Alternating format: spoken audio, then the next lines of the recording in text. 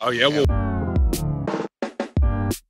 All right, dudes and dudettes. So to start off, guys, we're going to start with sizing your rope. Now, it's super important to have the right jump rope cable length.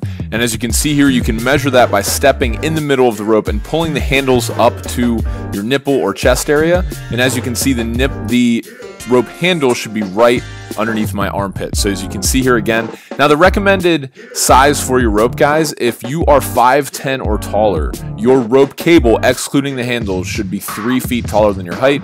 So I'm 6'3", so therefore my rope cable is 9'3", not including the handles. If you're below 5'10", just add two feet 10 inches to that, and that's the length of the rope cable that you should have. See again, pulling it up into underneath my armpit. It's super, super important to have the right rope length because you have the right combination of tightness and ability to spin that rope. Now, holding the rope, guys, before we go all out and start showing you how to jump, you go, you're going to need to know how to hold the rope. Now, notice here my body is in perfect symmetry.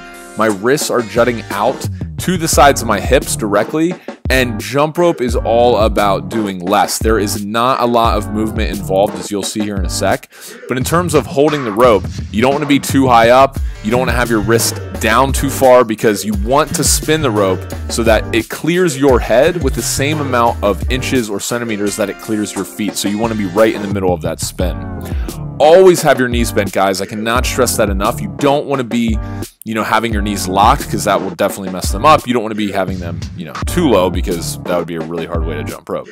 Anyway, next up, guys, we have get up on your toes. Okay, so uh, with bending the knees, guys, you want to make sure that you're up on your the balls of your feet on your toes the entire time you're jumping. You never want to be flat-footed, okay? And as you can see here, I'm jumping and I'm on my toes the entire time, and my feet are not coming any more than at the most two inches off the ground for regular bounce. So somewhere in the range of one to two inches is all that. And as I see, as you can see, I start going faster, and it requires that I actually jump um, lower to the ground. So now putting it all together, guys, spinning the rope, check out my body movements here. As you can see, jumping rope is all about doing less. The only thing that's working here, guys, you'll see in a sec, my wrists. My wrists are controlling everything. I cannot stress that enough. Some people jump too high and do almost like a butt kick and you really want to focus more on your wrists and the feet will follow i promise so check out here the wrists notice how i'm, I'm spinning the rope with every just using my wrists and my shoulders and everything above my elbows has no movement as you can see here from the side look at that perfect up on the toes knees bent i'm swinging the rope everything is controlled by my wrists and i'm making sure that everything is staying nice and tight so go ahead, guys. Trust me, I was not, and Brandon was not that good when we first started, and that's totally fine. I know I say this in every video, but it just takes some practice. So next, what I want to talk to you guys about is how can you just start doing this? What I'd recommend is that you guys start practicing three to five minutes a day to just get the fundamentals down of this regular bounce because this from here if you can spin the rope fast you can not only get an awesome body but you can do more tricks and make it challenging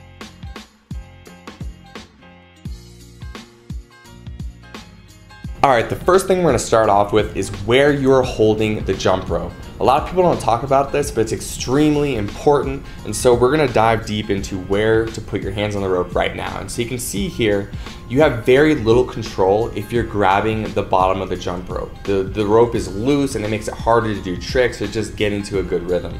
What you wanna do is choke up on the handles so your fingers are very close to the actual steel cable and the ball bearing. This will give you a lot more control of the rope and make the spin a lot smoother.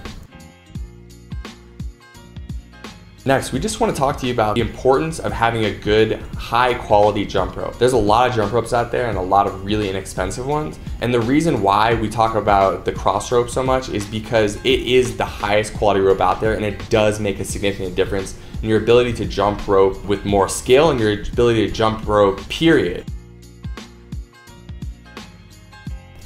So the next thing we're gonna cover here is a very subtle example of what it looks like to have your wrists too far apart. And so you can see here, when your wrists are too far apart, when you try to do tricks, for example, the crisscross, you end up tripping over the rope because it's spread too long, right? And so that means there's not enough depth on the rope to be able to make it underneath your feet. And so you can see here, it's very evident that if your wrists are just a few degrees closer to each other, so you're bringing your, your as you can see, I just demonstrated there, you're actually bringing your uh, wrists closer to each other, it's easier to do crisscrosses. It's easier to just get more fluid with the jump rope and be able to get a consistent rhythm with what you're doing. And so a beginner mistake a lot of people make is they have their, their wrists too far apart so they trip over the rope. So just remember whenever you're doing any tricks, bring your wrists just a little bit closer together and it's gonna feel a lot smoother for you. Next thing we want to talk about is having just straight up good posture when you're jumping rope. You want to create this nice alignment from this crown of your head down through the balls of your feet. So as you're hopping and you're jumping rope on the balls of your feet, you want to keep your shoulders back and down, and you want to really focus on keeping that core and those glutes tight so you're not bending over, you have good posture throughout the movement. Next thing we want to talk about is how high you're going to be jumping off the ground when you are jumping rope. And so a lot of people when they first get started try to jump high in the air so they don't skip so they don't trip over the rope. But really that that's the opposite of what ends up happening. When you jump higher in the air, a lot of times your hands come up. And so when your hands come up, you are also bringing the bottom of the jump rope up and you end up tripping over the rope. When you come just in a half inch or an inch off the ground, you have much more control. You're able to spin the rope more smoothly and your body isn't, again, isn't flailing around all over the place and you're controlling this movement. The final thing I want to talk about is just your ability to get into a flow state while you're jumping rope. If you're really self-conscious about yourself and you're worried about you know tripping up or people see you tripping up, just let all of that go.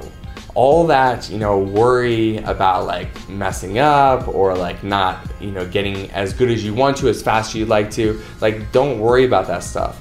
The whole point of jumping rope is just to take care of yourself. So the fact that you're even doing it is a win in itself. Now, beyond that, if you want to focus on enjoying it even more, you want to really just get into the state of being where the only thing that exists is every skip of that rope and so you wanna even close your eyes sometimes and focus on just the movement of that rope, or if you're listening to music, just the beat as every beat drops. And so put yourself in a state of being where you're completely present and you're gonna get better at jump rope so much faster.